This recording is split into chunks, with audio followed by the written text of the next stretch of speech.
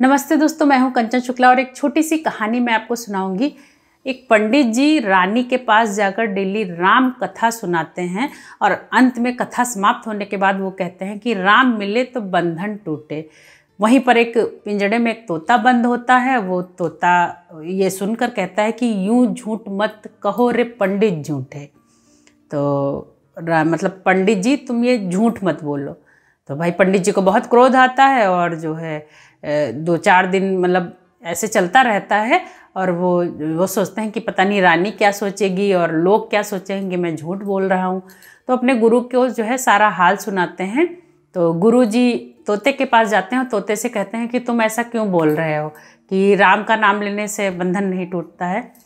तो वो जो है, तोता कहता है कि एक बार मैं आसमान में उड़ रहा था और एक आश्रम मुझे दिखाई पड़ा। मैं वहाँ पर बैठ गया, वहाँ पे साधु साधु संत थे।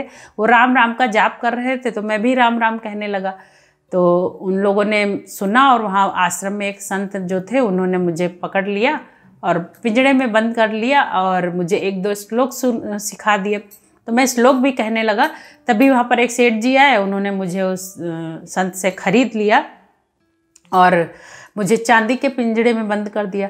धीरे धीरे मेरा बंधन और बढ़ता ही गया और उसने जो सेठ था, उसने राजा को से अपना काम निकलवाने के लिए कोई और राजा को जो है उपहार के रूप में दे दिया और राजा की रानी धार्मिक प्रवृत्ति की थी तो राजा ने रानी को दे दिया। अब रानी ने मुझे सोने के पिंजड़े में बंद कर दिया और मैं ऐसे ही बस पिंजड़े में ही बंद हो गया और राम नाम का जाप करता हूँ। तो मैं कैसे कहूँ कि राम का नाम जप के जो है मेरा बंधन छूटेगा? तो भाई जो गुरु थे, उन्होंने कहा कि ऐसा करो, आज शाम को जो है तुम कुछ मत बोलना और जब पंडित कथा सुनाए तो तुम जो है कुछ मत बोलना, बस चुपचाप आँखें बंद करके लेटे रहना। और रानी को लगेगा कि तुम मर गए हो और तुम पिंजड़ा जो है खोल देगी और तुम उड़ जाना।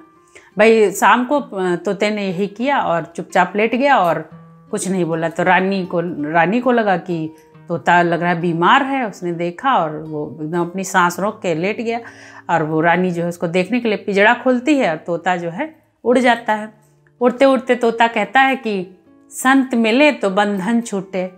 तो कहानी का मतलब यही है कि कितने भी शास्त्र पढ़ लो, कितना भी ज्ञान कर लो, गुरु के मिलने के बाद ही सच में हमारे बंधन टूटते हैं। गुरु ही हमें संत जो है, संत गुरु जो है हमें रास्ता बताते हैं कि हमारा बंधन कैसे छूटे और भगवान तक जाने का रास्ता बताते हैं।